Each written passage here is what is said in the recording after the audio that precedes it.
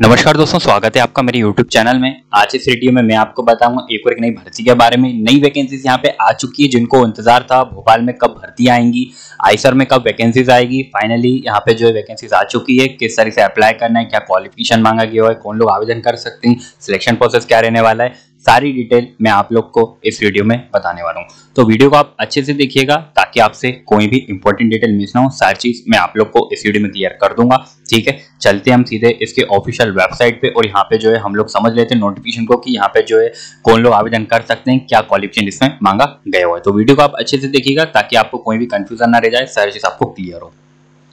उससे पहले जो लोग मेरे चैनल पर अभी नए वो चैनल को सब्सक्राइब कर लीजिएगा, बेल आइकन को प्रेस कर लेगा ताकि आने वाली कोई भी जॉब अपडेट वीडियो आपसे मिस ना हो। जितनी भी गवर्नमेंट वैकेंसीज यहाँ पे आती है, मैं सबके नोटिफिकेशन लेकर आता रहता हूँ, किस तरह से अप्लाई करना है, वो भी वीडियो में समझा देता हूँ। तो आप चैनल को ज़्यादा से ज़्यादा सब्सक्राइब कर लीजिएगा।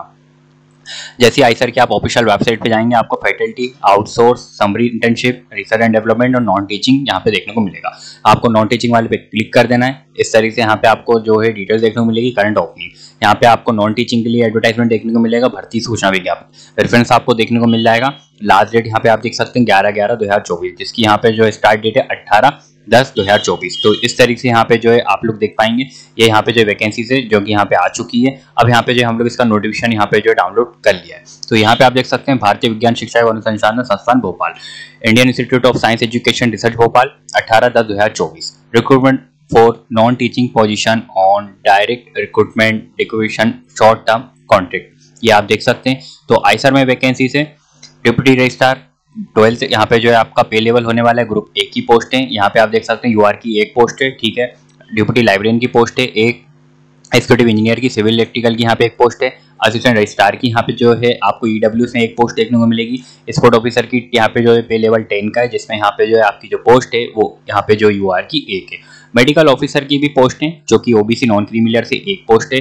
सीनियर सुपरिटेंडेंट की यहाँ पे एक पोस्ट है, फ़िज़िकल एजुकेशन इंस्ट्रक्टर की एक पोस्ट है यूआर में, काउंसिलिंग सुपरिटेंडेंट की एक पोस्ट है, जूनियर इंजीनियर की सिविल में यहाँ पे जो एक पोस्ट है, उसके बाद यहाँ पे जूनियर टेक्निकल असिस्टेंट में यहाँ पे एक पोस्ट है यहाँ पे जूनियर ऑफ़िस असिस्टेंट की यहाँ पे जो है आपको एक पोस्ट देखने को मिलती है, जो कि यूआर में है।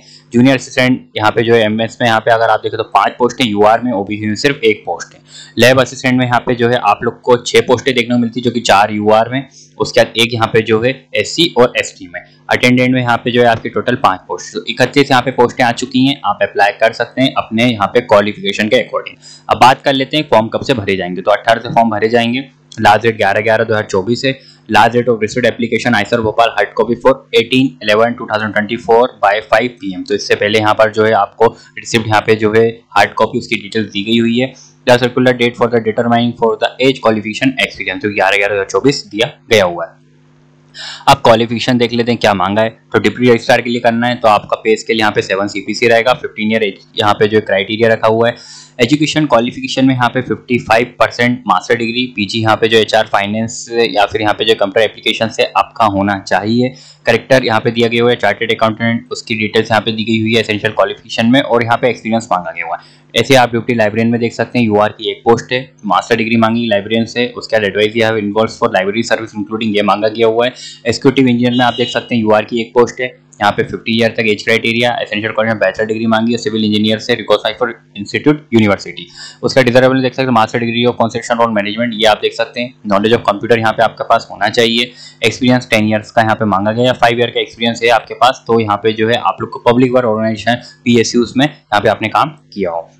असिस्टेंट रजिस्ट्रार में आप देख सकते हैं इसकी यहाँ पे जो डिटेल दी गई हुई है। स्पोर्ट ऑफिसर में यहाँ पे यूआर की एक पोस्ट है, जैसा मास्टर डिग्री मांगा गया हुआ है। Diploma coach for the national institute sport for the recognised institute ये आप देख सकते हैं। नेक्स्ट यहाँ पे एक्सपीरियंस दिया गया हुआ है मेडिकल ऑफिसर के लिए यहाँ पे जो एमबीबीएस मांगा गया हुआ है। अगर पोस्ट यहाँ पे ग्रेजुएट क्वालिफिकेशन में आपका एमडी है तो भी अप्लाई आप कर सकते हैं। एक्सपीरियंस मांगा गया हुआ है। उसके बाद सीनियर सुपरिटेंडेंट में आप देख सकते हैं, इसमें भी यहाँ पे एक्सपीरियंस मांगा गया फाइव ईयर्स का।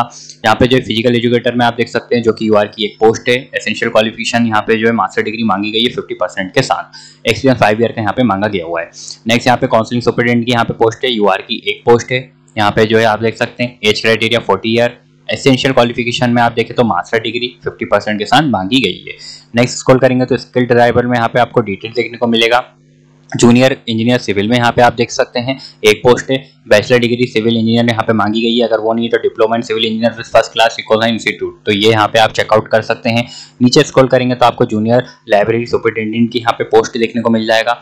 जूनियर यहाँ पे टेक्निकल असिस्टेंट की पोस्ट है जूनियर ऑफ़िस असिस्टेंट की पोस्ट है, जो चार ईयर का एक्सपीरियंस मांगा गया है, जिसमें यहाँ पर जो है आप लोग को सेंट्रल स्टेट गवर्नमेंट यहाँ पे जो आपने काम किया हो थर्टी ईयर यहाँ पे जो एज क्राइटेरिया और फिफ्टी यहाँ पे जो है परसेंट आपका बैचलर डिग्री से होना चाहिए। उसके बाद यहाँ पे जूनियर ऑफ़िस असिस्टेंट के नीचे स्क्रॉल करेंगे जूनियर असिस्टेंट की भी पोस्ट है, जो कि यहाँ पे जो है आप लोग से बैचलर डिग्री के लिए फिफ्टी परसेंट मांगा गया है थ्री ईयर का experience for the office practice hospitality and catering services उसके बाद यहाँ पे जो डिजरेबल में आप देख सकते हैं finance accounting central government for the central state funded education institute government universities complete इसकी डिटेल्स दी गई है। लेब असिस्टेंट के लिए देख सकते हैं BSc physics chemistry earth environmental science biological science से 50 परसेंट मांगा गया हुआ है। अटेंडेंट में आप देख सकते हैं पे स्केल यहाँ पे दिया सेवन सीपीसी जो कि यहाँ पे टेंथ पास से अप्लाई कर पाएँगे डिजर्व में आप देख सकते हैं, और एसेंशियल क्वालिफिकेशन यहाँ पे आप चेकआउट कर सकते हैं।